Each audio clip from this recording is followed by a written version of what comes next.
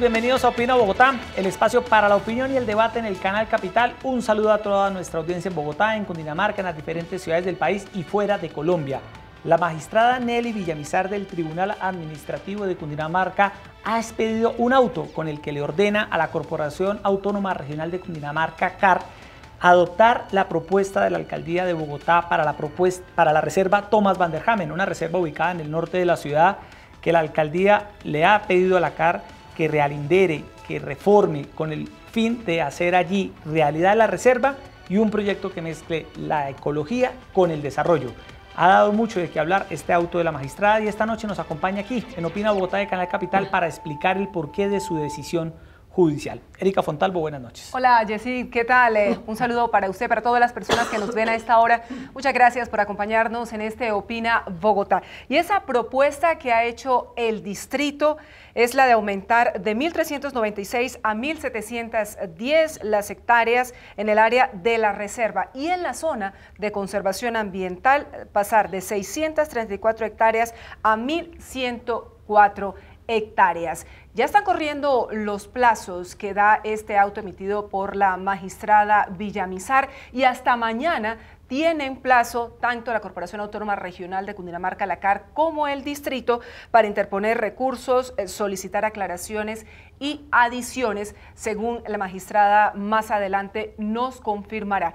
Usted ha dicho que esta decisión de la magistrada muy... Eh, consensuada dentro de su entorno, con argumentos eh, muy profesionales, mm, como ella siempre ha tomado sus decisiones, eh, ha generado una enorme polémica, una enorme polémica entre sectores ambientalistas que dicen que es una decisión antitécnica y que debe ser impugnada ante el Consejo de Estado porque claramente no cumple el objetivo que es de, entre otras, mm, garantizar esa conectividad entre los cerros orientales y el río Bogotá, que es en últimas lo que está de fondo para garantizar precisamente la protección de esa amplia zona del norte de Bogotá y también, por supuesto, del río, del afluente más importante para esta zona del país, el río Bogotá. Así es, magistrada Villamizar, buenas noches, bienvenida a Opina Bogotá. Sí, Erika, muchas buenas noches. Eh, con bastante preocupación porque pues, el país entero y sobre todo las sabanas eh, conozcan por qué los jueces tomamos esta clase de decisiones que son, que causan bastante preocupación y a la vez mm, como eh, una alegría en el futuro para Bogotá. Bueno, yo. Bueno, maestra, iniciemos con ese tema para hacerle también pedagogía a nuestros televidentes con un tema que es complejo, con un tema, Erika, que es especializado y que necesitamos entender muy bien. Paso por paso. Paso por paso, sí. Mm. Hay un auto que usted pide en los últimos días para pedirle a la CAR que adopte en su totalidad, es usted muy exacta, eh, la propuesta de la alcaldía para la reserva Thomas van der. ¿Por qué este auto? ¿De dónde viene este auto? ¿Por qué usted toma esta decisión, magistrada?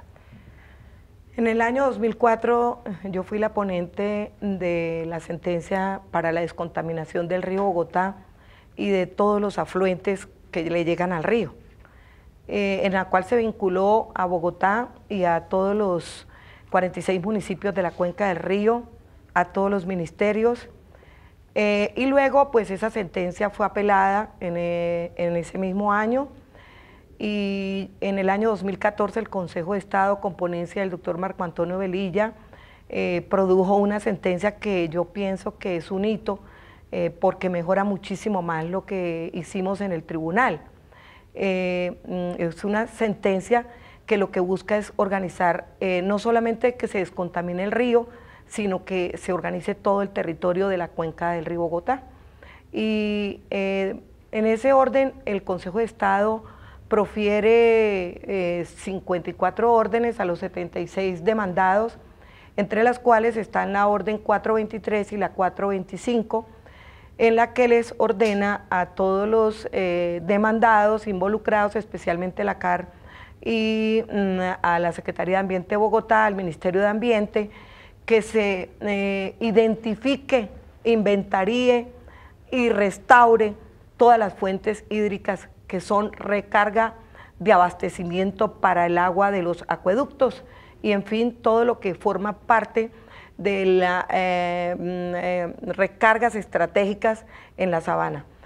Desde ese punto de vista, en el año 2016, cuando el alcalde se posesiona en, enero, enero o diciembre fue. En enero del 2016, magistrado. Se posesiona y lo primero que él em, le manifiesta, creo y entiendo que pues inclusive cuando yo hice, cuando comencé con el tema del río en la anterior administración de él, él tenía su propuesta con el tema de la, de la Vanderhamen. Yo la verdad nunca estuve de acuerdo con urbanización en la Vanderhamen y entonces cuando en el 2016 él insiste en que va a presentar su propuesta, pues a mí me preocupa muchísimo porque pues la verdad eh, yo pienso que todo el tema del río y todo lo que hay alrededor del mismo, del territorio, eh, ya se judicializó y yo pienso que no se puede polarizar en tantas demandas por separado, sino que es este proceso el que debe unificar todo el manejo del río. Por eso el Consejo de Estado designa y le ordena al, ah, ministro de Ambiente que presente un proyecto de ley ante el Congreso de la República para que se cree la gerencia de Cuenca. Y ahí inclusive el Consejo de Estado le da señala las funciones, que eso pues es propio del Congreso y no de nosotros los jueces. Y se, y se crea la gerencia de Cuenca y a la vez se crea el Consejo Estratégico de Cuenca.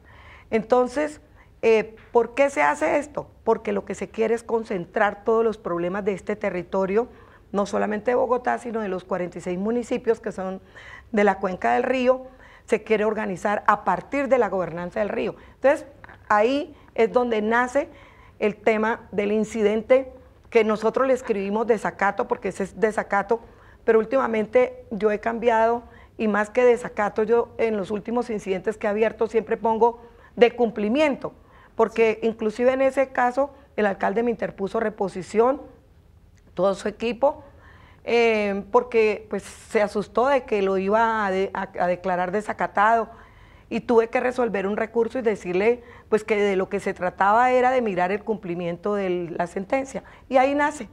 Es decir, ese interés suyo nace de, la misma propuesta que hace esta administración, por lo menos en ese momento era solo un anuncio, uh de eh, intervenir la Reserva Forestal Thomas van der Hamen. Nelly Villamizar asume entonces el estudio de esa, de esa propuesta y qué logra establecer que finalmente la conduce, magistrada, a, a esa decisión, al auto que conocemos en los últimos días. En ese momento yo estaba haciendo, como lo hice con todos los alcaldes, un empalme entre el alcalde anterior y el nuevo alcalde para que el nuevo alcalde siguiera con todas las propuestas y los trabajos que estaban haciendo los anteriores alcaldes. Convoco a una audiencia en la que está el exalcalde Petro y va el eh, alcalde Peñalosa. Comenzamos por ahí, oigo, pero en ese momento no hay nada concreto de lo que se va a hacer. Eh, y empiezo las inspecciones judiciales eh, y pues es cuando a mí me suspenden por los temas que Colombia entera ya sabe, eh, me suspenden y me voy, eh, yo alcanzo a hacer una inspección judicial en la parte de Torca y alcanzo a ir al Cerro La Conejera en esa oportunidad, algo, algo de Guaymaral, sí, creo que visité bien un Guaymaral. Y mm, me voy y quedó todo parado, sí, porque pues el proceso es este proceso, para que lo maneje un juez, se necesitan los 17 años que yo he tenido en el tema del río, porque es que no es después de la sentencia, es antes de la sentencia, eh, que yo tuve que hacer muchas, durante un año mesas de trabajo para aprender todos los temas técnicos, porque esta sentencia no es únicamente jurídica, es muy técnica desde el punto de vista ambiental, organización del territorio. Y entonces, pues la magistrada que me reemplazó, pues ella se ocupó más de los temas de impuestos, que es lo propio de la sección donde me encuentro, y pues quedó parado todo lo del río. Inclusive quedó parado todo el tema de minería que yo venía haciendo inspecciones judiciales para que se cumpliera otra orden de la sentencia, que es señalar las zonas compatibles con la minería. ¿Y cuándo se retoma entonces el tema? Entonces yo llego el 4 de mayo de este año y pues por supuesto todo el mundo enloquecido con todos los temas que a cada uno le interesan. Tuve que terminar primero el tema de minería, porque el, ministro se iba y él tenía que dejar la resolución sacada, porque si no incurría en desacato. y eh, al mismo tiempo fui retomando lo de la Vanderhamen. Que ya se había presentado la propuesta para esa época porque se presentó en abril de este año. Pero a la CAR. A la CAR. Y yo la desconocía, ¿sí? No, o sea, eh, a mí no me habían presentado propuesta en ese momento, habían, ellos se demoraron en que la CAR les entregara los términos de referencia, eh, porque pues el alcalde me imagino que hizo las cosas por su lado, y luego entonces em, vuelvo y visito el territorio. Y lo visito con todos. O sea, esto no es algo que, que inclusive mm, el canal Capital estuvo porque pues lo mejor era que todo el mundo conociera el territorio y sepa qué es lo que está pasando allá.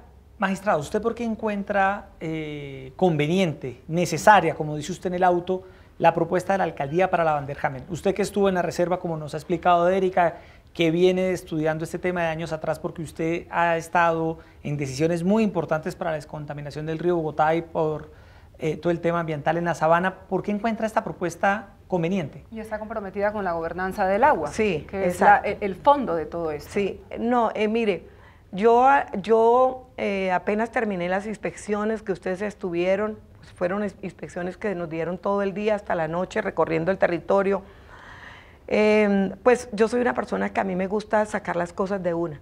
Cuando yo saqué la sentencia del río, yo duré cuatro meses sentada, 17 horas diarias, entraba a las cinco y media de la mañana al tribunal y salía a las 11 de la noche.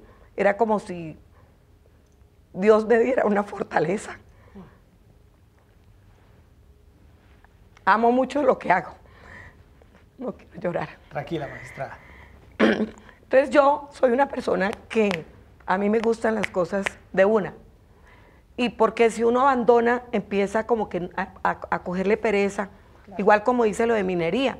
Cuando yo hice lo de minería, el, el, ministro tuvo que esperarme una hora en la audiencia porque yo todavía no bajaba porque estaba terminando de pulir muchas cosas del tema de minería. Entonces agarré, terminé minería y enseguida agarré Vanderhamen y puse, eh, yo nunca he tenido un apoyo del Consejo de la Judicatura para esto, siempre me ha tocado con Adonoren y con una sola empleada. Y en este caso dejé parado un poco impuestos y agarré a todo mi personal para que me investigara todo lo que había en el cuaderno de la Vanderhamen y lo que había en el expediente del río. ¿Y qué encontró y por qué la Y entonces se empieza, pues empiezo a encontrar los estudios de la Nacional, del Instituto Humboldt, de Perry, Mm, el, panel de expertos que nombró el mismo ministerio antes de que la CAR declarara la reserva, ¿sí? Y entonces comparo con lo que el distrito está proponiendo y entonces pues yo veo que es la única solución que hay para el tema de la Vanderhamen. Cualquiera diría, pero ¿por qué la magistrada? Bueno, sí, calles y vías, ¿sí? ¿Y por qué vivienda? ¿Sí? ¿Y, y por qué no solamente la restauración ecológica? Pero es que hay muchas cosas ahí imbuidas. No solamente el tema de la restauración ecológica, sino el tema que yo veo a Bogotá muy atorada, asfixiada por dentro de Bogotá, que es lo que la, propuesta del alcalde Peñalosa, en lo que recuerde de antes, es que eh, Petro hablaba de densificar dentro de Bogotá. Y el alcalde Peñalosa, sí, densificación acá, pero también hay que densificar hacia otros lados. ¿Por qué? Porque es que si ustedes miran Bogotá, yo pienso que es muy difícil densificar a Bogotá. O sea, la ciudad extendida, que es un poco lo que, se busca hacer. Yo digo que dentro de todo el territorio del distrito sí, porque hay que, eh, para allí, para acá, para el norte y para el sur, para lo único que no se puede es para el oriente, sí. Y para el occidente, pero no hay territorio para 2.500.000 viviendas que se proyectan que deben existir para el año 2040, porque yo incluí y revisé el estudio porque no le podía creer al alcalde de que 2.500.000 de viviendas, yo dije, esto no, esto, esto es inaudito. Y me tuve que ir a, a estudiar los estudios sobre el crecimiento de vivienda y ahí están en la Providencia. Hay un tema que, preocupa mucho a los ambientalistas porque aquí hemos analizado en varias oportunidades ese aspecto, y es lo que tiene que ver con la conectividad, con la conectividad eh, precisamente de los cerros orientales con el río Bogotá, que además, eh, lo hablábamos hace un momento, es algo mucho más extendido. ¿Qué encontró en ese tema que le pareció conveniente a usted, magistrada. Erika, ya le explico esa partecita, pero quiero terminar con lo al interior de Bogotá, porque es que yo, yo esculco todo. Yo estoy viendo que barrios enteros los están convirtiendo de vivienda en, en edificios de 17 pisos y hasta más. Pero yo no veo la reposición de redes que le correspondía al alcalde Petro. Sí se hizo, pero no hay el dinero suficiente para hacer la separación de las redes, eh, por eso ve ustedes inundaciones, sobre todo en, el 2011, porque las aguas lluvias van con las aguas residuales. Entonces, eh, habían muchas obras que faltan por terminar y, yo veo el, derecho de la gente a tener de verdad más parques. Yo cuando veía al alcalde hablando de parques, eh, yo no lo veía tan profundo en el tema, pero yo ahora después de que escribo el auto sí lo entiendo y entonces, ¿qué pasa con el tema de lo que tú me acabas de preguntar con la conectividad? Es que esto está más que garantizar la conectividad, porque es que en este momento la conectividad no está garantizada. ¿Cómo está separada Cerros Orientales? Está separados por la carrera séptima, está separada por parte de la novena, está separada por la autopista norte. Entonces, el agua no le está llegando de hecho, por eso las inundaciones en la autopista y en Torca y en Guaymaral. Entonces, ¿qué es lo que se va a hacer? Ahí mismo en el auto, cuando tú miras, porque yo traigo todo, yo, yo no oculto ni lo perjudicial, porque si me revocan, pues, yo no tengo ningún interés que el, Consejo de Estado mejore como mejoró mi, mi proyecto, de, mi sentencia. Entonces, están los puntos de las quebradas inclusive por donde se va a hacer el corredor ambiental, los pasos de fauna, los pasos de vegetación, eh, tanto subterráneos como aéreos. Entonces, en este momento, cuando yo miro todo eso, así como lo veo, pues yo lo veo con mayor garantía para lo que es la parte ecológica. El tema de los humedales, los humedales, mire, ahí estaba la Fundación La Conejera, que pues siempre dicen que es del alcalde Petros. Eh, para mí, el mayor, la persona en la que yo he tenido mayor confianza es precisamente el Medardo que es de la Fundación El Humedal La Conejera. Y para mí es como mi Biblia, porque yo lo admiro, porque él, me, él esculca todo. Y, entonces eh, eh, yo lo llevo para todos los lados. O sea, y, y, cuando yo le hago reflexionar a Medardo y a los ambientalistas que hay la necesidad de romper las vías para poder que no ingrese todo el transporte pesado por, por las mm, eh, únicas dos vías que hay, que es la autopista y es la séptima, y eso si acaso, y ahora por cota que están ingresando, sino que entran por la ALO. Se va a organizar toda la parte de la avenida Boyacá para llegar hasta Chía, que le va a servir a Chía mismo, que está construyendo tanto. Entonces yo veo que no hay dinero para hacer todas esas obras. ¿Y cómo se hacen esas obras? Con vivienda. Y, entonces a mí, los ambientalistas quieren que todo sea verde, pero es que estamos en un desarrollo de, ciudades en el que hay que crear ciudades sostenibles. Y Bogotá es insostenible, porque el calentamiento global cada día nos está llegando más. Mire, yo, ustedes sabían que vine a esta entrevista, estoy muy enferma y, anoche tuve que tomar corticoides para poder venir. Y le agradecemos mucho, magistrada, que esté acá con nosotros, sabemos que está con su voz me vine a las 11 de la mañana de mi casa y el sufrimiento que yo tenía para llegar acá era muy grande, porque la autopista norte de la 170 hacia el norte estaba completamente atorada. ¿Usted sabe lo que es a las 11 de la mañana esa parte atorada? Que no era hora pico. Entonces, los niños y todo el mundo estamos consumiendo ese CO2, porque ahí dicen que por debajo de 24 em, miligramos de CO2 que es, eh, produce calentamiento global, pero es que a veces no estamos ni a 5 kilómetros por hora. Y eso aumenta el CO2. Y todos los días los niños lo están consumiendo mañana y tarde. Entonces yo veo el derecho de la ciudad a vivir feliz.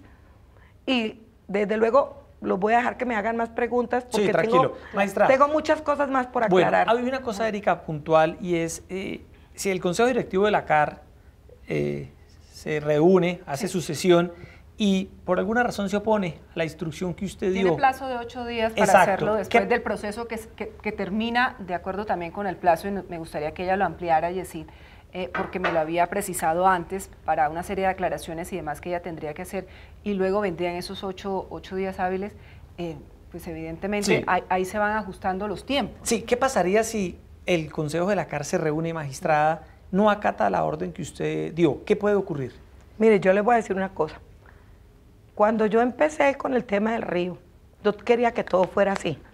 Quería que todo el tema de los interceptores y las plantas de tratamiento de canoas y, la ampliación de la petar salitre, quería que todo fuera, como lo decía la cara en ese momento, año 2009. Y yo estaba dispuesta a meter al que fuera a la cárcel o lo que fuera, porque pues mi temperamento es, es así. Templado. Sí, y además porque yo toda la vida he sido juez y la verdad yo no le debo favores a nadie, entonces no me preocupa a quién le impongo o no le impongo. Eh, y entonces, pero yo he cambiado. Yo he cambiado, antes me tenían mucho miedo. Eh, ya como tengo que recorrer el territorio con más de 70 personas en cada inspección judicial, que lo hago dos veces a, la semana, porque es un territorio muy grande, con muchos problemas, he aprendido a, oír a los demás y a entender.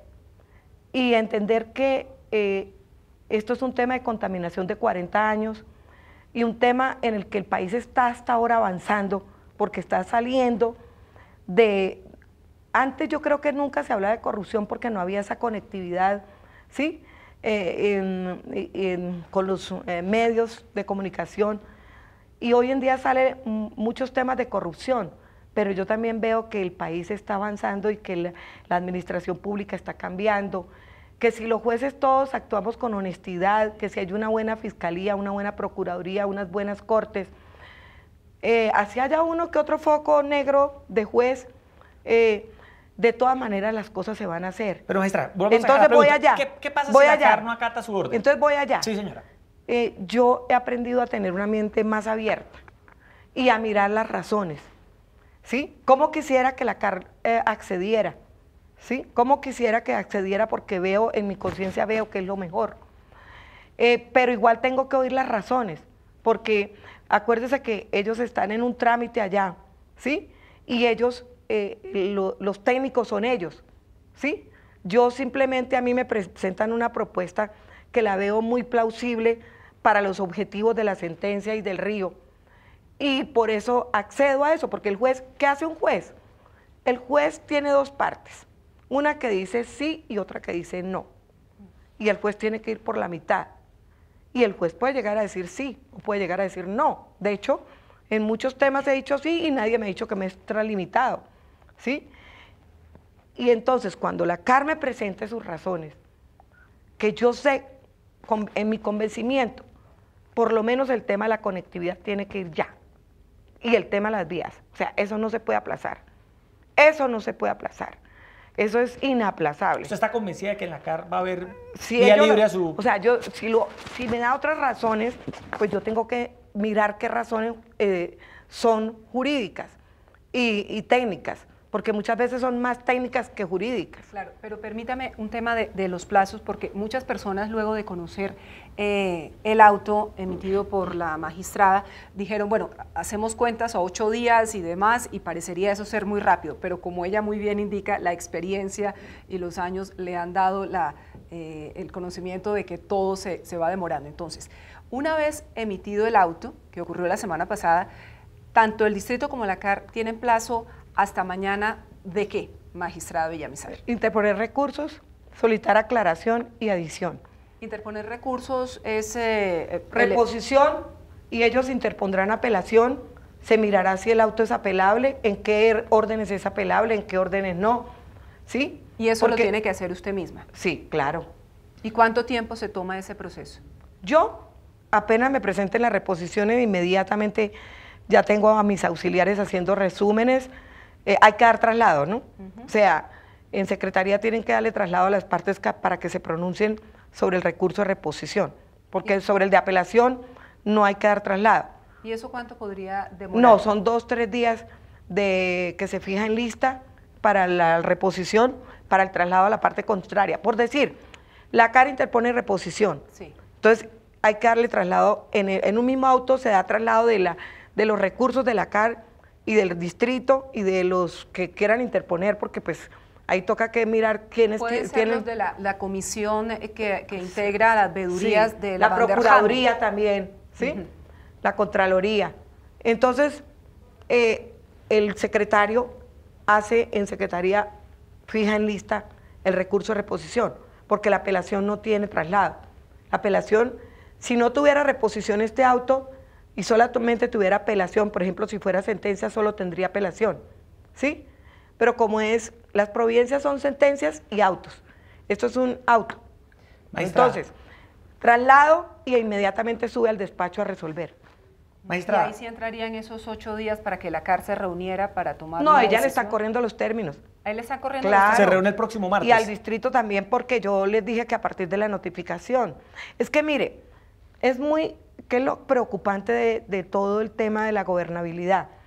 El tema es que eh, cuando hay cambios de administraciones, llegan los nuevos alcaldes, de hecho porque el río tantos años no ha, no ha pasado muchas cosas que han debido pasar, porque llegan y se gastan la plata en otras cosas, tienen otras eh, propuestas, otros planes, y yo creo que acá hay que hacerse un plan de desarrollo de las ciudades que sea para sí eh, en futuro, de tal manera que no se atrasen los proyectos que vienen anteriores, ¿sí? Porque fíjese que los alcaldes anteriores pienso que estaban más de acuerdo con el pensamiento de Peñalosa que el alcalde Petro, porque el alcalde Petro llegó a cambiar el POT precisamente para dejar esa parte como si fuera intocable. Sin embargo, no hubo nada, no se hizo nada para conectar y para re- restaurar toda esa zona. Entonces, se va a Peñalosa, llega otro alcalde, y entonces, ¿cómo queda esto? Es empezar casi que de cero, ¿no? Sí, y, y- y los, y los jueces a imponer eh, eh, sanciones y entonces el juez es malo porque impone sanciones, el juez está confabulado con, el, con el- la otra. Mire, si hay algo que yo tengo es que ni estoy con Peñalosa, ni estoy con Petro, ni con ningún partido, porque yo siempre he sido juez desde muy niña. Maestra, a ustedes la aplaudieron, como usted recordaba ahora cuando usted emitió, Erika, ese fallo histórico para salvaguardar el río Bogotá. Pero usted ha visto, magistrada, que con esta decisión, pues los ambientalistas que en su momento la aplaudían, ahora la cuestionan y la critican. Le dicen que usted se extralimitó en sus funciones, le Que dicen es que... una decisión arbitraria, que- insólita, que no- que- antitécnica. que no está eh, teniendo en cuenta los argumentos de los ambientalistas. ¿Qué le responde usted? Aprovechemos este espacio aquí en el canal Capital, magistrada, para que usted le responda a sus críticos, a los que hoy en día la están cuestionando por su decisión. Número uno, como decía una hermana que está muerta, menor mía. Número uno, a mí no me aplaudieron cuando yo saqué la sentencia. A mí me metieron, me interpusieron nueve procesos disciplinarios y prevaricato por acción, prevaricato por omisión y abuso de autoridad. Porque yo dije, no voy a dejar que la plata del río se la sigan malgastando eh, con unos contraticos y engañándole al país de que le están invirtiendo al país y nadie en ese momento hacía nada, ni los ambientalistas ni nadie. Nadie hacía nada. Entonces, eso es lo primero que no solamente fui aplaudida, fui aplaudida por el periódico El Tiempo, que en ese momento hasta editorial me dedicó, eh, mm, el periodista, mm, ya se me olvida el nombre, muy querido, Los Santos, eh, fui aplaudida por ellos. De resto yo no fui aplaudida por nadie. ¿Y por qué no fui aplaudida? Porque yo dije que mientras que subía la sentencia al Consejo de Estado, yo iba a seguir vigilando el cumplimiento de las funciones que a cada uno de los demandados le correspondía.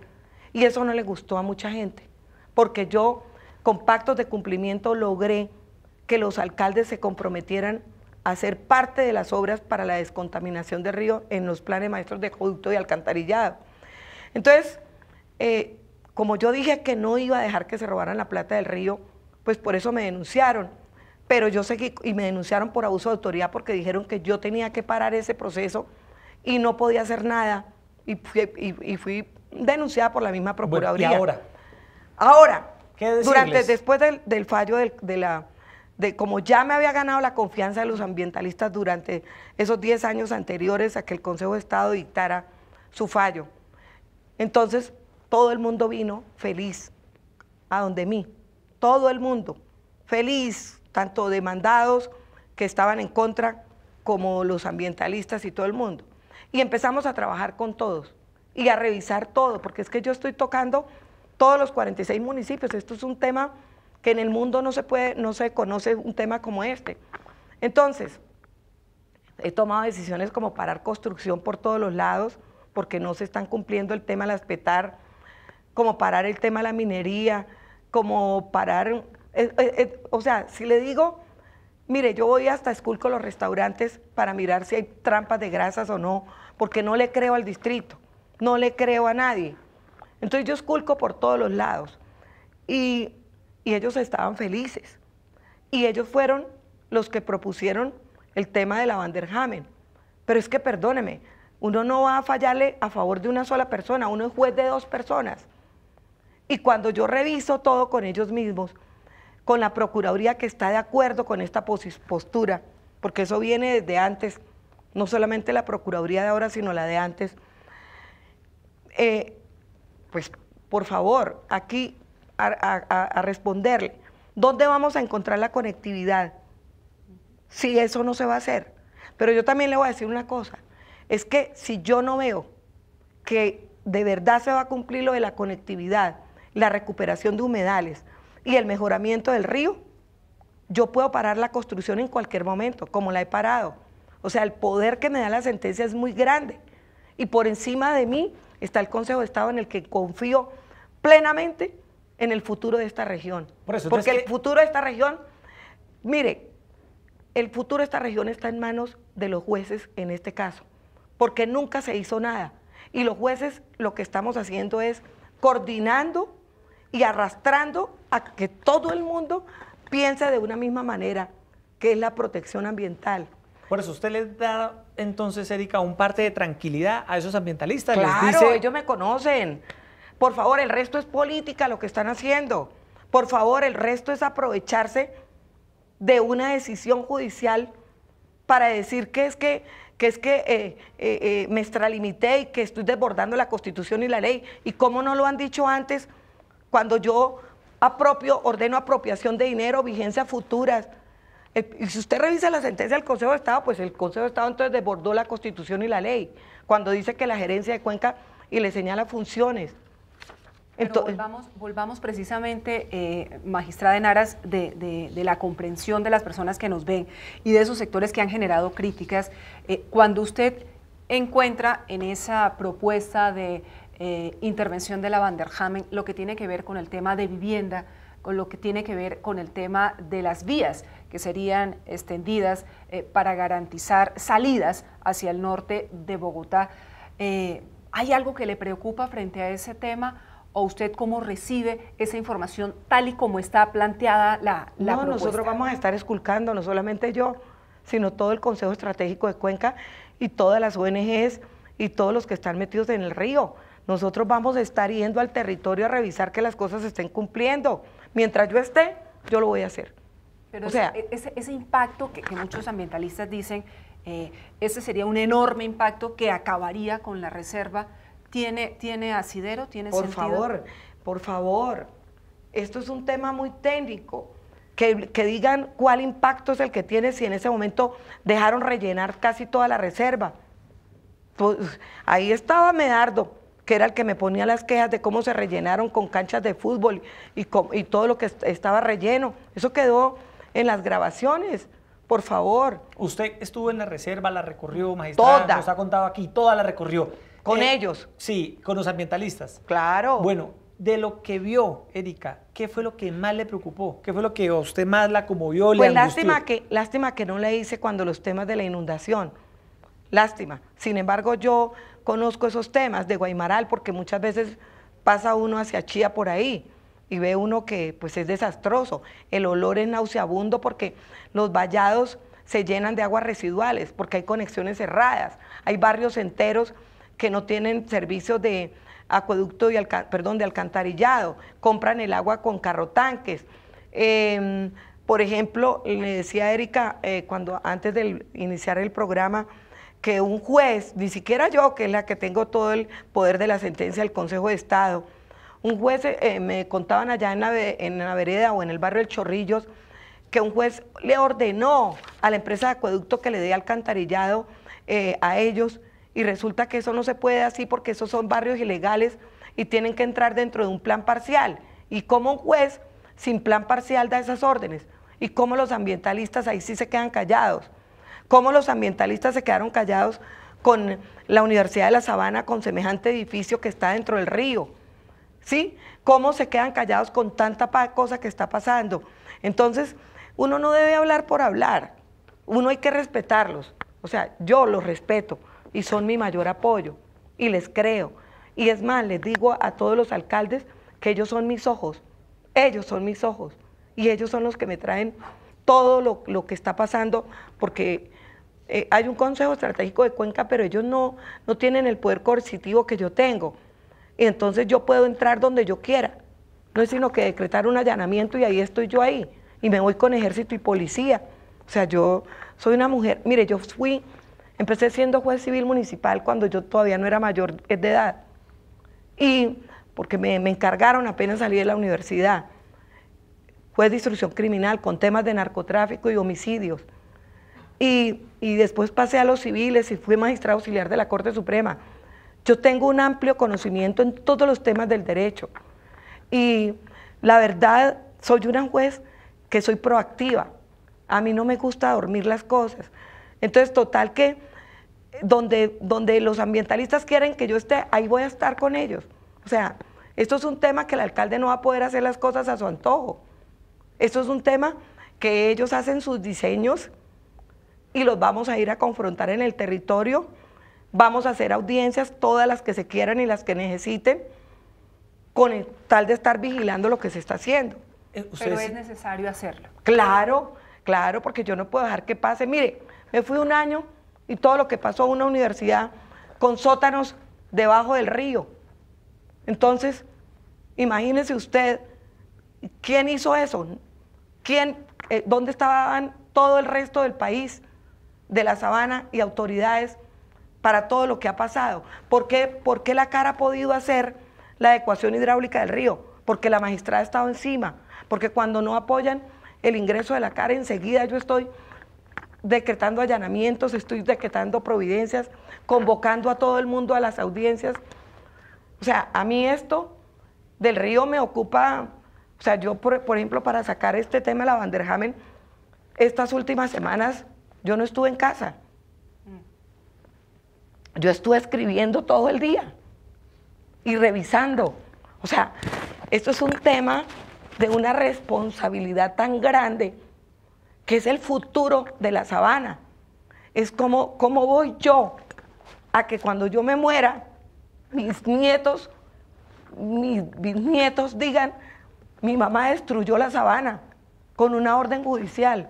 O sea, como, por favor, Maestra, dice usted que con este tema se ha hecho política, con el tema Erika de la Vanderhamen. Pues yo sí creo, ¿no? ¿Por qué? ¿Por qué evidencia usted, usted que se ha dedicado a estudiar estas, eh, estos temas, por qué evidencia que se está haciendo política, magistrada? Mire, en este país hay un problema, que es lo que yo veo cuando lo veo de un lado y del otro.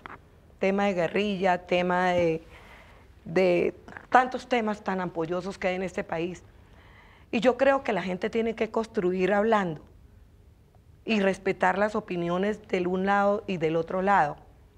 Y no aprovechar para sacarle los defectos del otro o el pasado del otro. Mire, cuando yo empecé el tema del río, era terrible, el río olía, yo lloré cuando conocí el río porque fue de noche que yo lo vi, que estaba con mi esposo eh, arriba del salto de Tequendama y yo no sabía que estaba el río y el olor era nauseabundo y, y me puse a llorar cuando mi esposo me dijo que era el río Bogotá. Nunca me imaginé que Dios me fuera a dar ese caso.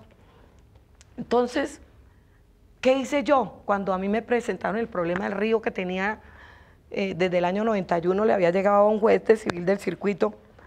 Y entonces me dijeron que una planta de tratamiento en el embalse del Muña, para descontaminar el embalse antes de trasvasar las aguas contaminadas del río al embalse, por lo que estaba sufriendo el municipio de Cibaté. Y ahí estuvo Dios, porque yo no tenía ni idea de lo que era este territorio, yo no tenía ni idea de lo que era el medio ambiente, y, pero Dios me iluminó y le dije a la CAR, sin saber nada, yo dije, pues que esto no se soluciona con una planta de tratamiento, esto se soluciona descontaminando el río. Entonces le dije a la CAR, deme todo el nombre de los municipios que son aferentes del río, que están en la cuenca. Y la CAR me entregó los eh, nombres de los municipios y cuando mis compañeros tenían otras cuatro acciones populares por la parte de la cuenca alta y la cuenca baja y otras cosas más, las quebradas, me dijeron, Nelly, ¿a usted le importaría asumir estos procesos? Y yo le dije, no, tráigamelo. Le empecé a agarrar tanto amor que le dije, tráigamelos. Entonces acumulé todos los procesos. Y después hice un año de mesas de trabajo. Un pacto de cumplimiento no dura sino media hora con muchos magistrados, porque llegan los magistrados o los jueces y le dicen a las partes, ¿usted trae propuesta de pacto de cumplimiento? No, no traigo, porque ¿quién va a llevar a...? ¿Sí? No traigo. Listo, terminada la audiencia. Y yo, el primer día que me preparé para la audiencia del río, duré semanas enteras leyendo las contestaciones de la demanda y armando todo en PowerPoint. Nunca en la vida un magistrado o un juez había hecho esa clase de audiencia. La hice en el teatro del tribunal y empecé con todas las respuestas que me daban todos los demandados. Y todo el mundo se limpiaba y se sacaba que no tenía responsabilidades, que porque no contaminaban. Magistrada, y 14 años después de ese histórico fallo, y ¿qué ha pasado? Para que lo enlace de una Sí, qué pena con ustedes que me dijeron que corto. Les dije, no, le dije, es que esta parte es muy importante. saber, si se, saber, si se está cumpliendo o no con, con y todas les dije, eh, les, dije les dije en ese momento a ellos, mire, yo no me importa, a mí no me importa si, si voy a perder el trabajo o no lo voy a perder el que me quiera dar, me da lo que pueda darme, y el que no me quiera dar, no me da. Abramos esto a una mesa de trabajo. Eso no estaba previsto en la ley. Y abrí a mesas de trabajo durante casi un año, donde trabajamos todos los viernes y los martes hasta las 9 de la noche y conociendo todos los temas del río, para poder armar la sentencia que, como le cuento, fueron cuatro meses, 17 horas diarias sin descansar sábado y domingos ni festivos. Salió un 25 de agosto. Entonces, lo que me pregunta Erika, ha avanzado muchísimo, muchísimo. Ya los alcaldes respetan, ya saben que tenemos los ojos puestos sobre cada cosa. Lo que pasa es que eh, la plata antes no existía y ahora entonces eh, se trata de conseguir la plata para hacer tantas cosas que hay que hacer en este país. A veces se piensa que lo social es más importante que estas cosas. Eh, yo creo que el país hay que gobernarlo mucho mejor, lo que le decía hace rato, hay que gobernarlo con todos. Cuando usted me preguntaba sobre los políticos, yo pienso que acá hay que llamarlos a todos como hemos trabajado en el río y llamarlos a la conciliación y a que todos estén ahí. Uno no se tiene por qué incomodar que porque el que no me dice que sí a lo que yo digo, entonces yo váyase. No, yo soy una persona que construyo con todos. Bueno, pues ahí están, Erika, las explicaciones de la magistrada Nelly Villamizar. A mí me queda una inquietud cortita, magistrada. Si el caso efectivamente es llevado ante el Consejo de Estado, demandado ante el Consejo de Estado, este auto que usted ha tomado, eh, ¿se suspende todo el proceso? Es decir, ¿no se podría adelantar nada? No, porque precisamente yo fui muy cuidadosa. ¿Qué es lo que yo dije en la sentencia? Que esto no es un litisconsorte necesario. ¿Qué es el litisconsorte necesario? Cuando nosotros los tres somos titulares de una sola relación jurídico-procesal. Ahí vamos los tres amarrados por siempre. Este es un tema de litisconsortes facultativos. Cada municipio, cada demandado tiene un proceso diferente, solo que están acumulados. Entonces, de las órdenes 76 que dio el Consejo de Estado, hay un cuaderno para cada cosa y para cada demandado.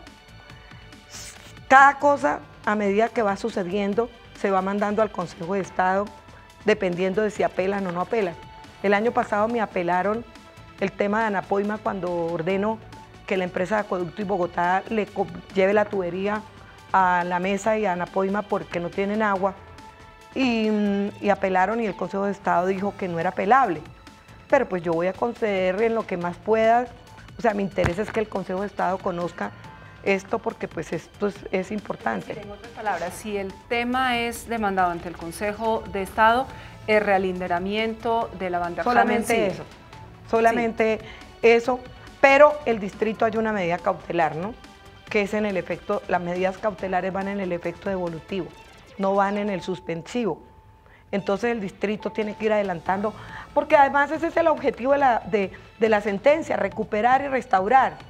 Entonces el distrito tiene que, con la CAR tienen que restaurar, porque ¿cómo así que eso se va a, a permanecer con el achaque de que está en el Consejo de Estado?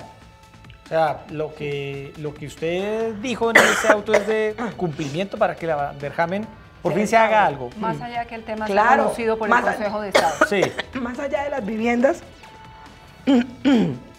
es un tema de cumplimiento, de restauración de un sistema estratégico, de un área de importancia estratégica para el abastecimiento del agua. Ahora, ahí hay una cosa. Es que así la CAR sustraiga y recategorice. Eso no significa que el distrito pueda construir todas las viviendas que quiera. No porque las licencias las concede es la misma, eh, el mismo distrito. Y una licencia no se puede eh, mm, conceder si se, están ah, afectando determinantes ambientales. Entonces, el tema de, construcción es un tema que viene y de urbanización es un tema posterior. Bueno, pues magistrada, muchas gracias por estar esta noche aquí en Opina Bogotá explicando los alcances de su auto y vamos a estar muy atentos a ese tema. Eh, frente a su condición que, la vemos un poco eh, afectada, pero pues eh, lo que va a necesitar es voz para poder socializar jengibre, este, magistrada, jengibre. no, socializar este ah. auto con, muchos sectores. No, si no me meto anoche, eh, si no me meto corticoides no pudiera estar acá. Se viene encima, que sin lugar a dudas eh, va a, generar muchas mm. acciones de grupos ambientalistas y ahí está también la posición de la CAR, la posición del distrito en torno a esta propuesta de la Thomas van der Así es, magistrada. Buenas noches, muchas gracias, Erika. A, ustedes por este tiempo tan importante para explicarle a la ciudad que nosotros no vamos a dañar nada. Bueno, muy bien, muchas gracias, magistrada Erika, como siempre, muchas gracias. Se nos acabó el tiempo. Como siempre, inteligente, ¿no? Porque es supremamente inteligente. Bueno, magistrada, muchas gracias a todos ustedes, muchas gracias por estar con nosotros aquí en Opina Bogotá y los esperamos mañana, 8 y 30 de la noche, para analizar otro tema de interés para Bogotá y el país. Muy buenas noches. Gracias.